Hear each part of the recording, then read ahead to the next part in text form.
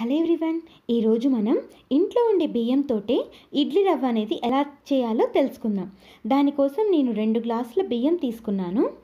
వీటిని మనం శుభ్రంగా కడిగేసుకోవాలి. ఓకే కడిగేసుకున్నానండి. నీళ్ళన్నీ ఉంచేసుకోవాలి దీన్ని మనం. వీటిని మనం నానబెట్టుకునే అవసరం లేదండి. డైరెక్ట్గా మనము కడిగేసిన తర్వాత మనం ఒక క్లాత్ పైన ఆరబెట్టుకుంటే సరిపోతుంది. వీటిని మనం ఎండలో చక్కగా ఒక క్లాత్ వేసి ఆ క్లాత్ పైన మొత్తం ఆరబెట్టుకోవాలి నేను ఆరబెట్టుకున్నానండి ఒక క్లాత్ మీద వేసి ఆరబెట్టాను మనకి ఈ విధంగా బియ్యం అనేది రెడీ అయిపోయింది. ఇప్పుడు దీ- వీటిని మనం ఒక మిక్సీ బౌల్లోకి తీసుకుందాము. ఓకే తీసుకున్నాం కదా. ఇప్పుడు వీటిని మనం పిండి పట్టేసుకుందాము.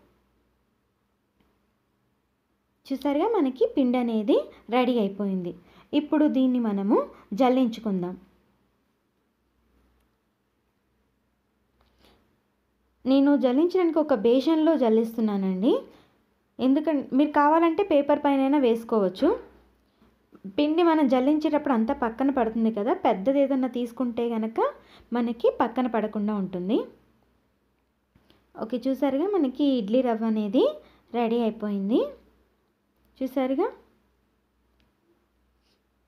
మనకి ఈ విధంగా వస్తుంది. మిగిలిన పిండి కూడా మొత్తం పట్టేసుకుందాము. మనం ఇలా పిండి పట్టుకోవడం వల్ల మనకి ఏ పిండి కూడా వేస్ట్ అవ్వదు.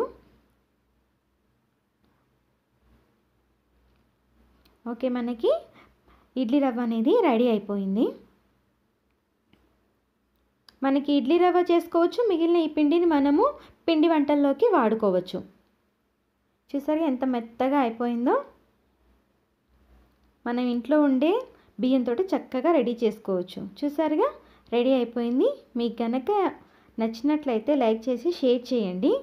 నేను ఇదే వీడియోలో మీకు ఈ ఇడ్లీ రవ్వతోటి ఇడ్లీ అనేవి ఎలా చేసుకోవాలో కూడా చూపిస్తాను. అంటే మీకు తెలియదని కాదు. ఈ ఇడ్లీ రవ్వతోటి మీకు వస్తుందా లేదా అని కొంచెం డౌట్ ఉంటుంది కదా? అందుకోసం ఈ రవ్వతోటి మీకు ఇడ్లీ చేసి చూపిస్తాను ఇదే వీడియోలో. దానికోసం ముందుగా నేను ఒక టీ గ్లాసు మినపప్పు తీసుకుంటున్నాను.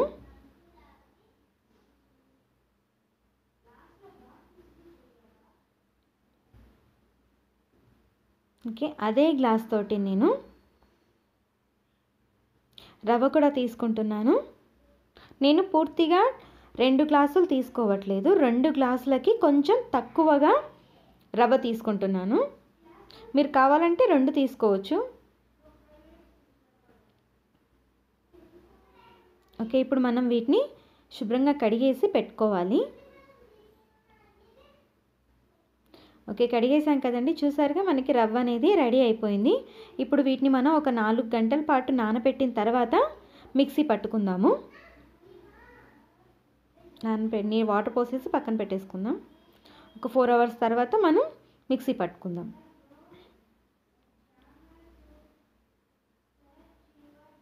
ఓకే నేను పిండి అనేది మిక్సీ పట్టేశాను. ఇప్పుడు రవ్వ వేస్తున్నాను. నీళ్ళన్నీ వంపేసి ఓకే మనకి పిండి అనేది ఈ విధ ఈ విధంగా రెడీ అయింది. రేపు మార్నింగ్ మనం వీటితోటి ఇడ్లీ ఎలా వచ్చాయో చూద్దాము. మూత పెట్టేసాను ఓకే అండి. చూసారుగా మన ఇడ్లీ పిండి అనేది రెడీ అయిపోయింది. చూసారు ఎంత చక్కగా వచ్చిందో. ఓకే ఇప్పుడు నేను ఇడ్లీ వేస్తున్నాను.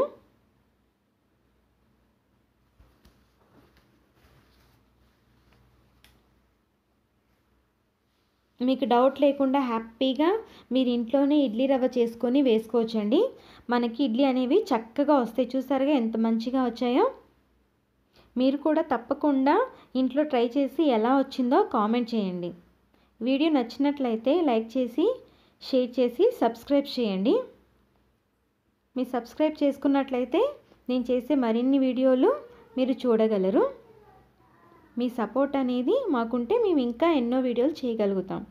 ఈ వీడియో చూసినందుకు ధన్యవాదాలు. Thank you so much bye అండి.